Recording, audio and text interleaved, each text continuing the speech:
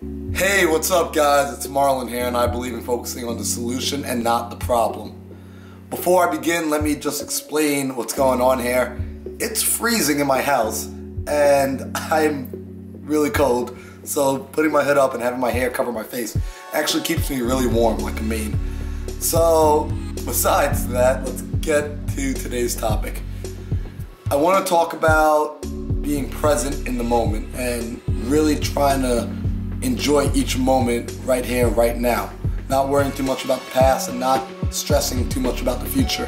The reason I'm talking about this topic is over the weekend I had a chance to watch a film, it's on Netflix. It's called Be Here Now. And it's the story of Andy Whitfield, which is the main actor in Spartacus. If anyone saw season one, great show. But when he came to a place where he was able to get the things he wanted in life. You know, he got the lead role of an amazing show that went all over the US and millions upon millions of views. He got the lead role. He, that was the acting role of his career. And things were starting to take off for him. People were contacting him and they wanted him to act in his, their movies. As he got this, he also was diagnosed with cancer. And long story short, did not make it. In this film, you see his entire journey and battle with cancer. And it's actually quite an amazing story because at no point did he ever really give up. He actually realized what it takes others an entire lifetime to figure out, which is to enjoy each moment right here and right now because tomorrow is not promised, and we hear it all the time.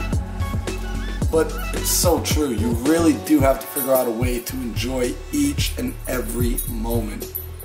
And whether you're suffering or whether you think you're at the lowest point in your life, you have to remember that how you choose to look at the situation creates the situation.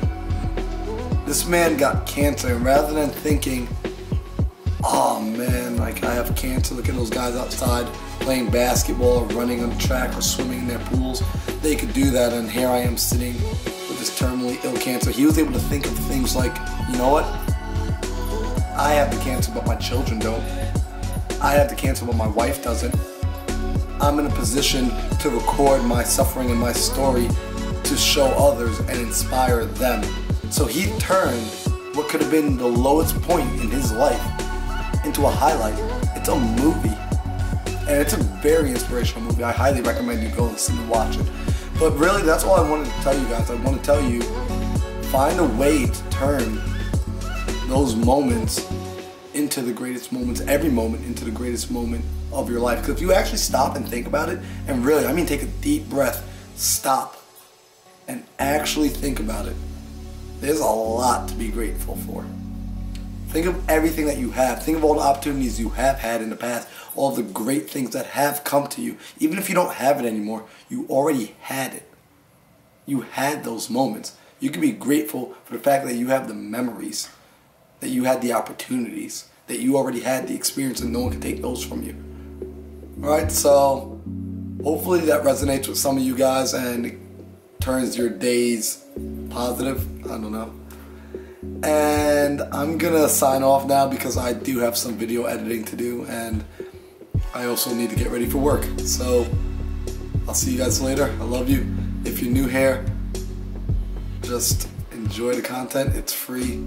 If you don't like listening to it, the nice thing is you can just turn me off at any moment. Alright, I'll talk to you guys later. Bye.